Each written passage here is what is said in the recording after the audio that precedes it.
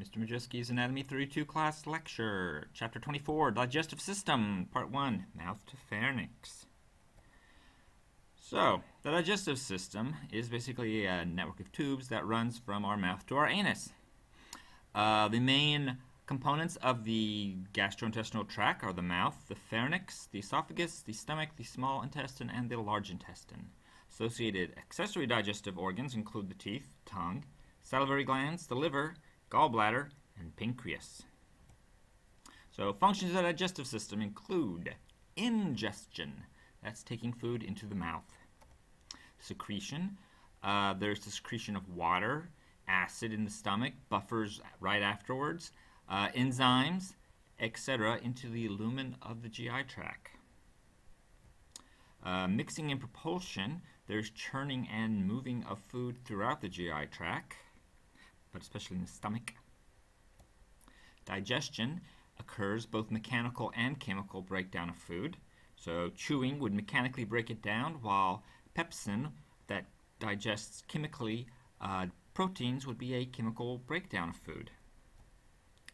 Absorption is the passage of the digested products from the GI tract into the blood and lymph systems.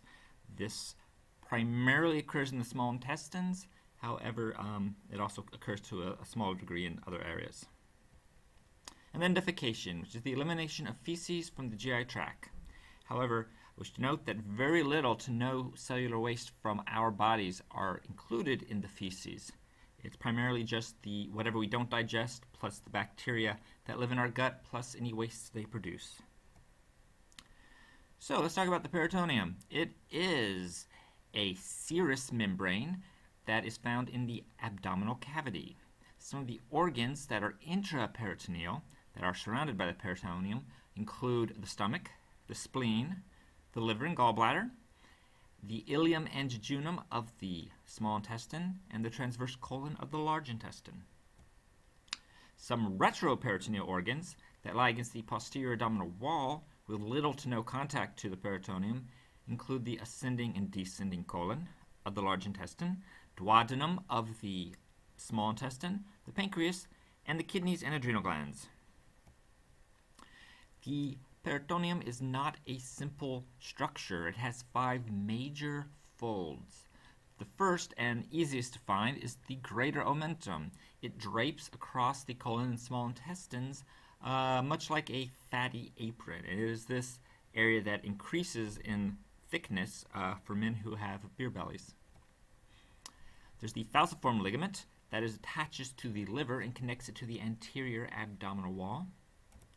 There's the lesser omentum that suspends the stomach and duodenum from the liver. There's the mesentery fold that binds the jejunum and ileum of the small intestine to the posterior abdominal wall. Uh, you can see it uh, all throughout the coils of these areas of the small intestine. And then the mesocolon, which actually has two parts because it binds both the transverse colon and the sigmoidal colon to the posterior wall. And here's just a picture from a cadaver of what the greater omentum looks like. The mouth. The mouth has many structures that have been given names. Besides the ones we're used to and expect, like superior lip and inferior lip, you also have the oral vestibule, which is the space between the lips and the teeth. You have the inferior and superior labial frenulum. That's just that little extra piece of tissue that connects the lip to the gums. Uh, the hard palate, the soft palate, the uvula, which is part of the soft palate. You have the fauces in the back, which is the opening of the mouth into the pharynx. Uh, there's the tongue, the lingual frenulum, which attaches the tongue to the uh, bottom of the jaw, and so on. The salivary glands come in pairs. You have two parotid glands on each side, uh, two submandibular glands, and two sublingual glands. So that makes a total of six. Saliva that's produced by these glands is almost completely water. However, there's a small amount of enzymes in here. There's lysozyme, which acts as an antibiotic there's salivary amylase, which begins digesting carbohydrates immediately. And there's lingual lipase, which is not yet active. Lipases break down fats. The tongue has both extrinsic muscles that attach it to other structures, such as the uh, glossohyoid muscle, uh, and intrinsic muscles that allow it to move. Um, however, we won't go into the specifics of those muscles. Also on the tongue are a number of papillae, which are little bumps. Some of these bumps contain taste buds for the sense of taste, and um, others are just there uh, to provide friction on the tongue to help move food around. Teeth. Uh, dentin is one of the layers of teeth and it forms the majority of the tooth bulk. However, there are a number of layers. The outermost layer is the enamel, sort of the white of the teeth. Below that is the dentin, which is a little darker in color. And then deeper to that is the pulp that's in the pulp cavity. It is the living part of the tooth with blood vessels, nerves, and so forth. Uh, if you go by regions, you see that the part of the tooth above the gum line is the crown, the part of the tooth around the gum line is the neck, and then the part of the tooth below that is the root. Um, you also see that there's cementum and periodontal ligaments that help attach the tooth to the alveolar bone, which is forming the socket that the tooth is in. And humans have two sets of teeth, or dentitions. Uh, deciduous is the first, or the baby teeth, and then over time, as the person grows, they are replaced by the permanent teeth.